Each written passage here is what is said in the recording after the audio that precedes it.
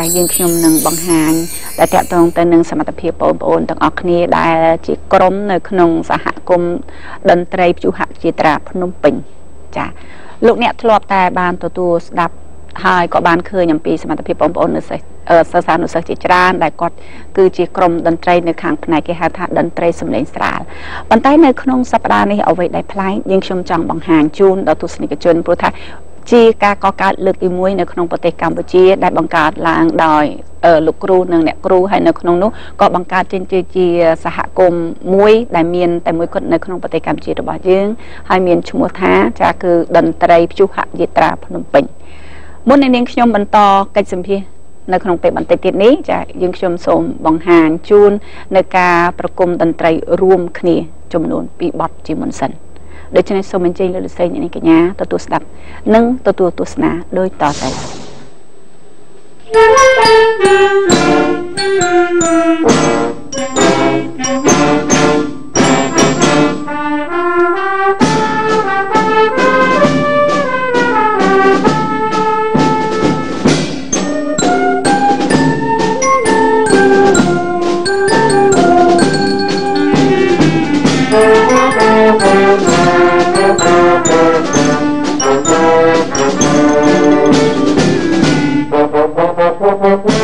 Thank you.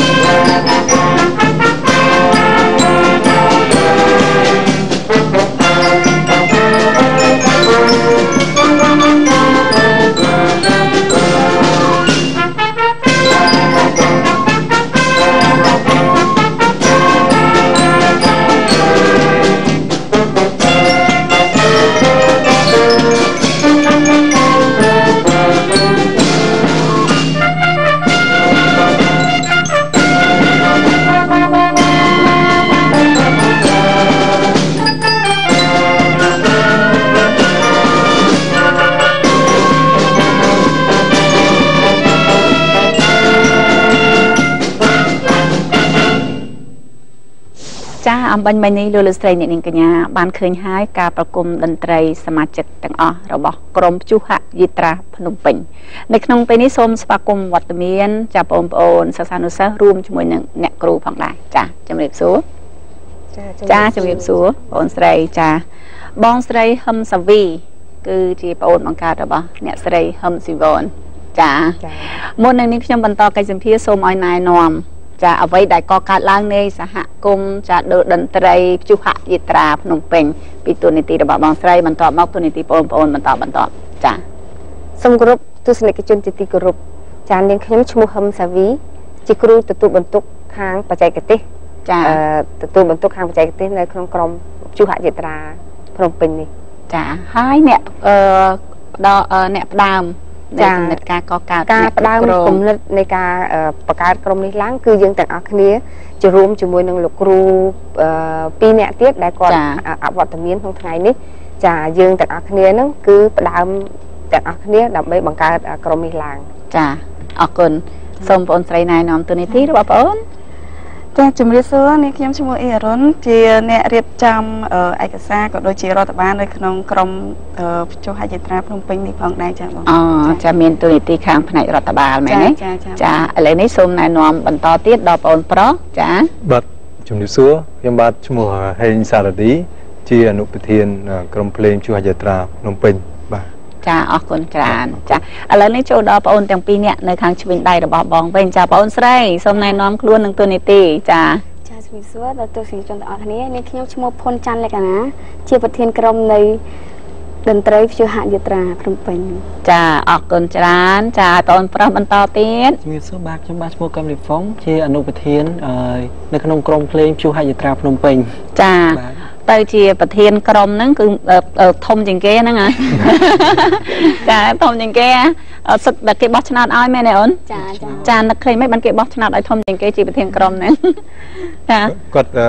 ជាមនុស្សដែលមានការទទួលខុសត្រូវហើយទៀងទាត់ពេលវេលាទៀងទាត់ពេលវេលាចាគាត់ណែនាំកូនក្រុមអូគាត់ខ្លះក៏គាត់មានការបង្ហាត់ផងដែរអញ្ចឹងចាជំរុញខ្ញុំដែរចាចាហើយអ្នកខាងរដ្ឋបាលហ្នឹងទូនីតិខាងរដ្ឋបាលហ្នឹងបានន័យថាយើងពូកែតការតំណាក់តំណងពូកែរៀបចំឯកសារក៏គាត់យើងមានទូនីតិខាងហ្នឹងទៅទៅសរុបនឹងអស់គ្នាបងប៉ុន្តែថាពេលខ្លះទៅខ្ញុំ ទូនទីរៀបចំឯកសារច្រើនជាងគេអញ្ចឹងណាចាតែបើឯកសារយើងរៀបចំអីអញ្ចឹងទៅយើងទាំងអស់គ្នាយើងប្រជុំគ្នាចាចូលថៃប្អូនខាងនោះវិញចាបាទជាស្ដែងទៅការងារខ្ញុំគឺពាក់ព័ន្ធទៅនឹងការជួប សម្របសម្រួលជាមួយនឹងក្រុមភ្លេងយើងជាមួយនឹងតាក់ទងផ្នែកខាងក្រៅវិស័យឯកជនក៏ដូចជាតំណតំណងដើម្បីផ្ដល់ឱកាសឲ្យបងប្អូនគាត់មានឱកាសសម្ដែងនៅក្នុងកម្មវិធីផ្សេងផ្សេងបាទចាបងកោតសរសើរនៅសមត្ថភាពពួកយើងទាំងអស់គ្នាជាពិសេសគំនិតនៃការផ្ដួចផ្ដើមហើយយើងសមត្ថភាពបញ្ចូលគ្នាចាខ្លាយទៅជាសហគមន៍មួយចាព្រោះថាបងធ្លាប់តែឃើញការសម្ដែងតន្ត្រី គឺគេហៅថាតន្ត្រីសម្លេងស្រាលចាប៉ុន្តែបងអាចនៅចាំបាន ចាការបងឃើញអាស្គរវាយបងចាំបានកាលសម័យបងនៅរៀនជាងឆ្នាំ80 80គេសិស្សសិស្សានុសិស្សចាសិស្សានុសិស្សកុមារឈានមុខគេហៅថាកុមារឈានមុខអញ្ចឹងនៅកនតែបងឃើញការប្រគំតន្ត្រីបែបនេះនឹកឃើញការសម័យកាលបងនៅក្មេងបងក៏ធ្លាប់កាន់ស្គរតូចនិងស្គរធំចាឥឡូវនេះចូលដល់កិច្ចសម្ភាសអ្នកគ្រូវិញចាការបដិផ្ដើមឡើងបង្កើតឡើងដំបូងបំផុតដែលមាននៅក្នុងប្រទេសកម្ពុជារបស់យើងសហគមន៍ដូតន្ត្រីព្យុហយត្រាភ្នំពេញហេតុអ្វីបានជាបង្កើតនៅក្រុមដូតន្ត្រីនេះឡើង អឺកម្មវិធីនៃការដូចផ្ដើមនេះគឺមិនមែនមកពីខ្ញុំម្នាក់ឯងទេចាគឺផ្ដើមដោយប្អូនសារឌី ហើយនឹងមកដូចថាជាជំនួយឲ្យបងជាអ្នកជួយដល់ការបង្កើតដោយសារយើងមានដោយសារខ្ញុំនឹងមានបទពិសោធន៍ក្នុងជាគ្រូទទួលបន្ទុកខាងបច្ចេកទេសខាងក្រុម Machine Band នឹងពីដើមមកហើយចាអញ្ចឹងយើងក៏ពិភាក្សាគ្នាទៅថាតើយើងគួរតែបង្កើតជាសហគមន៍មួយដើម្បីឲ្យបងប្អូនសិស្សានុសិស្សគ្រប់សាលានឹងគាត់បានចូលរៀនដោយការស្ម័គ្រចិត្តចាការផ្ដើមនេះគឺស្ម័គ្រចិត្តទាំងគ្រូនិងទាំងសិស្សអញ្ចឹងការផ្ដើម ថាសហគមន៍ហ្នឹងគឺយើងមិនជ្រើសរើសថាឲ្យសាលានេះតែមួយទេគឺយើងជ្រើសរើសចម្រុះតែម្ដងចាយើងចង់ឲ្យបងប្អូនដែលមានបានសិក្សាតន្ត្រីកន្លងមកហើយនៅពេលដែលពួកគាត់បញ្ចប់ការសិក្សានៅតាមវិទ្យាល័យផ្សេងផ្សេងហើយនឹងឈានចូលដល់វិទ្យាល័យគាត់ត្រូវចប់ហើយមហាវិទ្យាល័យត្រូវចប់ហើយអញ្ចឹងគាត់មិនដឹងថានៅពេលដែលគាត់មានជំនាញនឹងហើយថាតើគាត់ត្រូវធ្វើអីទៀត អញ្ចឹងយើងក៏ផ្ដាំកំណត់ថាគួរតែបន្តការរៀនតន្ត្រីនឹងឲ្យពួកគេបានរៀនចូលជាសហគមន៍ទៅបើមិនជាយើងបង្កើតជាសហគមន៍ពួកគេបានមានឱកាសបន្តរៀនឧបករណ៍តន្ត្រីនឹងកើតឡើងដែរហើយមួយទៀតអ្វីដែលយើងបង្កើតនេះគឺយើងមានគោលបំណងមួយធំគឺគោលបំណងនេះខ្ញុំចង់ឲ្យប្អូនខាងនោះគាត់អ្នកនិយាយច្រើនជាងដែលគាត់ស្គាល់ដឹងពី ទូនាទីចាទូនាទីរបស់គាត់ព្រោះហើយគាត់ជាអ្នកតំណាក់តំណងការងារដើម្បីបង្កើតនៅក្រមសហគមន៍នេះឡើងចាឥឡូវនេះគុំសូមបងអូនបរិយាយបាទអរគុណអឺគោលបំណងសំខាន់របស់ក្រមជួហយត្រាភ្នំពេញបង្កើតឡើងនេះគឺ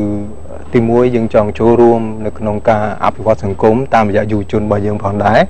ដើម្បីឲ្យគាត់មានឱកាសប្រឡូកនៅក្នុងសង្គមឲ្យបានច្រើនជាពិសេស បង្ហាញអំពីទេពកោសលក៏ដូចជា សមត្ថភាពរបស់គាត់នៅក្នុងការសម្ដែងដូរតន្ត្រីទៅដល់ទស្សនិកជនទូទៅ បាទនេះគឺចង់បង្កភាពក្លាហានរបស់យុវជនដើម្បីឲ្យចូលរួមនៅក្នុងសង្គមហើយមួយវិញទៀតក៏ចង់ឲ្យបងប្អូនយុវជននឹងឲ្យមានការទទួលខុសត្រូវបណ្ដុះបណ្ដាលពួកគាត់ឲ្យមានភាពជាអ្នកទទួលខុសត្រូវនៅក្នុងខ្លួនពីព្រោះថាយើងទីទៀតនឹងយើងចូលជាសមាជិកអាស៊ានចុងខែ12នេះហើយអញ្ចឹងអ្វីដែលពួកគាត់ ត្រូវបញ្ចេញគឺត្រូវមានភាពក្លាហាននិងមានការទទួលខុសត្រូវខ្ពស់ដើម្បីចូលរួមសង្គមនឹងឲ្យបានច្រើនហើយថ្មីថ្មីនេះដែរក្រមជួសហយាត្រាយើងខ្ញុំនេះក៏ទទួលបានការអញ្ជើញឲ្យ ទៅចូលរួមការប្រឡងប្រជែងជាលក្ខណៈអន្តរជាតិនៅប្រទេសម៉ាឡេស៊ីហើយអញ្ចឹងយើងកំពុងតែព្យាយាមទាំងអស់គ្នាទាំងហាត់រៀនទាំងស្វែងរកសប្បុរសជនផ្សេងៗបាទចាចាអ្នកទាំងអស់គ្នានៅពេលដែលបានចូលជាក្រុមតន្ត្រីព្យុហចិត្រាភ្នំពេញបាទចាគឺសិតសឹងតែអ្នកទាំងអស់គ្នា volunteer ទាំងអស់បាទដោយគ្មានអ្នកណាមួយបានទទួលប្រាក់បៀវត្ស ពីក្រមរបស់យើងទេសិតតែអ្នកស្ម័គ្រចិត្តចាមុននឹងយើងបង្កើតនូវគោលការណ៍នេះឡើងគឺយើងបាននិយាយពីគោលការណ៍នៃសហគមន៍របស់យើងឲ្យគាត់ទទួលដឹងថាតើយើងមានគោលការណ៍អីខ្លះដែរឬទេបាទអឺចំណុចនេះខ្ញុំក៏ឆ្លៀតឱកាសនេះសូមកោតសរទៅដល់បងប្អូនដែលជាសមាជិកជួហយាត្រាទាំងអស់គ្នាគាត់បានន័យថាគាត់បានលះបង់ពេលវេលារបស់គាត់ការដើរហើរអ្វីដែលអត់ប្រយោជន៍អញ្ចឹងគឺគាត់បញ្ចូលរួមជាមួយសកម្មភាពព្យុហយាត្រាភ្នំពេញនេះ បានន័យថាការហាត់រៀនកន្លងមកនេះគឺគាត់អត់មានប៉ះពាល់ពេលវេលាសិក្សារបស់គាត់ទេដោយសារតែយើងហាត់នៅថ្ងៃអាទិត្យបាទអញ្ចឹងថ្ងៃអាទិត្យក្រោយពីសម្រាប់ពីការរៀនសូត្រការងារគឺគាត់អាចមកចូលរួមជាមួយក្រុមយើងខ្ញុំបានហើយក្នុងនោះទៀតក៏យើងមានការបង្ហាត់បង្រៀនតាមបច្ចេកទេសតាមផ្នែកនីមួយៗអញ្ចឹងបានន័យថាក្នុងមួយសប្តាហ៍គឺពួកគាត់ត្រូវចំណាយពេល2ដងនៅក្នុងការហាត់បាទលើសពីម្ដងគឺ3ម៉ោង អញ្ចឹងក្នុងម្ដងទៀតគឺហាត់តាមផ្នែកនីមួយៗហ្នឹងគឺគាត់ទៅហាត់ជាមួយនឹងលោកគ្រូបច្ចេកទេសអ្នកគ្រូបច្ចេកទេសទៅលេពេលវេលាណាដែលសមស្របទំនេរគឺគាត់បាទចាអរគុណងាកមកខាងផ្នែកប្អូនទទួលបន្ទុកជាប្រធានគ្រប់គ្រងខាងផ្នែកដូតតន្ត្រីវិញម្ដងចាប្អូនពីមុនមកធ្លាប់មានជំនាញរៀនខាងផ្នែកដូតតន្ត្រីដែរឬទេចាពីមុនមកអឺរាល់ថ្ងៃនេះក៏ខ្ញុំរៀនជាជាសាសនានៅវិចិត្រសិល្បៈ ខ្ញុំកាន់ឧបករណ៍ flute ចា flute ដូចជាអ្នកគ្រូដែរចាជាកូនសិស្សរបស់អ្នកអូចាចានៅពេលដែលប្អូនបានពីមុន ដូចថាសប្ថ្ងៃមិនមែនថាពីមុននេះណាបងអូនក៏ជានិស្សិតនៅសាលាដូតន្ត្រីវិទ្យាសិល្បៈដែរខាងឧបករណ៍ flute ហើយឥឡូវនេះក៏យើងបានជាប់ឆ្នោតខាងផ្នែកប្រធានក្រុមរបស់ព្យុហយាត្រាតន្ត្រីភ្នំពេញចាបងអូនយល់ឃើញយ៉ាងណាដែរនៅពេលដែលបងអូនគឺជាក្មេងតូចម្នាក់ហើយបានខ្លាយទៅជាអ្នកប្រធានក្រុមគេបន្ទាប់មកយើងត្រូវគ្រប់គ្រងសមាជិកជាច្រើនមិនមែនសមាជិកតែមួយពីរបីនាក់ទេណាថាតើបងអូនមានគោលដៅយ៉ាងណាខ្លះដែរអឺចិត្តរបស់ខ្ញុំកាលពីដំបូងឡើយខ្ញុំមិននឹកស្មានថាខ្ញុំបាន ជាខ្លាយជាប្រធានក្រុមនៃតន្ត្រីព្យុហនិត្រានេះទេប៉ុន្តែខ្ញុំមានកោដដៅមួយពេលដែលខ្ញុំបានជាប់ជាប្រធានក្រុមហើយខ្ញុំមានកោដដៅមួយថាខ្ញុំចង់ជំរុញឲ្យពួកគាត់ខំប្រឹងវឹកហាត់តន្ត្រីជាយាត្រានេះហើយមានឆន្ទៈខ្ពស់ដើម្បីនឹងយើងទៅប្រកួតនៅម៉ាឡេស៊ីចាដើម្បីនឹងយកពានរង្វាន់មកដល់ប្រទេសកម្ពុជាចាចាចា នេះជាការបដិញ្ញាចិត្តក្នុងនាមយើងជាប្រធានក្រុមក្នុងនាមជាអនុប្រធានក្រុមវិញយ៉ាងម៉េចដែរនិយាយទៅខ្ញុំជាអនុប្រធានក្រុមហ្នឹងខ្ញុំក៏សប្បាយចិត្តដែរដូចគាត់និយាយលើកឡើងអញ្ចឹងហើយខ្ញុំពួកខ្ញុំហ្នឹងបានបដិញ្ញាឲ្យពេលដែលគេបោះឆ្នោតឲ្យខ្ញុំពួកខ្ញុំជាប់ឆ្នោតហ្នឹងគឺខ្ញុំបដិញ្ញាថាពួកខ្ញុំនឹងសម្រេចគោលដៅសម្រេចគោលបំណងដើម្បីនាំក្រុមពួកខ្ញុំនេះនឹងកាន់ទង់ជាតិបរិជាតិចក្រកម្ពុជាដើម្បីឈ្មោះទៅកាន់ ប្រទេសម៉ាឡេស៊ីនិងយកជ័យលាភីឲ្យបានចាចានេះគឺជាការបដិញ្ញាចិត្តបាទរួមទាំងអស់គ្នានៃក្រុមរបស់យើងបើយើងទាំងអស់គ្នាមិនចាំមានការបដិញ្ញាចិត្តមិនសហការគ្នាទេយើងមិនអាចលើកទង់ជ័យជាតិរបស់យើងបានទេមែនទេចាចាព្រោះថានៅក្នុងពេលឆាប់ឆាប់នេះពួកយើងទាំងអស់គ្នានឹងត្រូវប្រកួតនៅប្រទេសម៉ាឡេស៊ីចាបងក៏សង្ឃឹមថាលទ្ធផលនឹងកាន់ទង់ជាតិនឹងកាន់ពានអ្វីមួយត្រឡប់មកវិញដែរ ចាចាបានកូនសិស្សល្អអ្នកគ្រូចាបានមួយហ្នឹងចាជាងគេលវិលវៀនជាងគេចាមិនសូវជាខុសពីខ្ញុំបានខ្ញុំអាចចាត់ទុកថាជាសិស្សដៃស្ដាំដៃស្ដាំរបស់ខ្ញុំណាចាចានេះខ្ញុំចង់ដឹងទៀតថាក្នុងការដែលប្រម៉ូជាសមាជិកទាំងអស់ក្រុមតន្ត្រីព្យុហយត្រាយើងកំណត់សមាជិកចំនួនប្រមាណអ្នកអឺ តាមពិតទៅយើងចង់បានសមាជិកនឹងចាប់ពី50នាក់ចុះមកប៉ុន្តែដោយសារយើងមានសមត្ថភាពដូចថាធនធានមនុស្សយើងនៅមិនគ្រប់គ្រាន់អញ្ចឹងយើងបានតែប្រមូលបានតែប៉ុណ្ណឹងសិន30នាក់ហ្នឹងអញ្ចឹង30នាក់នៅក្នុងវងនេះគឺហៅថាជាធនធានមនុស្សនៅក្នុងតូចដែរយើងដូចថាជាក្រុមតូចក្នុងខ្នាតតូចមួយដែរអញ្ចឹងអ្វីដែលលំមសំរុំដែលម៉ាឡេគេចង់បាននោះគឺ 50នាក់ណាចា50នាក់ប៉ុន្តែយើងនឹងប្រឹងប្រែងទៅថ្ងៃមុខទៀតយើងនឹងប្រឹងប្រែងធ្វើម៉េចឲ្យបានបងប្អូននឹងចុះឈ្មោះមកចូលធ្វើកិច្ចការទាំងអស់គ្នានឹងបង្កើតក្រុមនឹងកាន់តែរីកធំជាងនឹងទៀតចាអរគុណចាលោកលោកស្រីអ្នកនាងកញ្ញាដែលកំពុងតែតាមដានទស្សនានៅក្នុងកម្មវិធី Season ប៉ុស21លោកអ្នកបានទទួលស្ដាប់ហើយការរៀបរាប់ចាពីគូការយ៉ាងច្បាស់របស់ក្រុមដូរតន្ត្រីចាព្យុហយិត្រាភ្នំពេញ ម្នាក់ម្នាក់សិតតែមានគោលដៅហើយម្នាក់ម្នាក់សិតតែស្រឡាញ់ជាតិរបស់ខ្លួន ចង់បង្ហាញអំពីស្នាដៃរបស់ខ្លួននៅពេលដែលឱកាសមួយ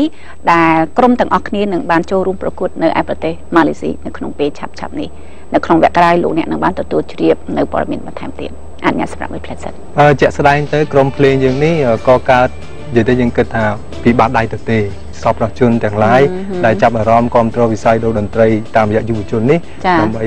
សម្រាប់ដំណងពួកយើងខ្ញុំឲ្យបានដឹកនាំគ្នាទៅប្រទេសម៉ាឡេស៊ី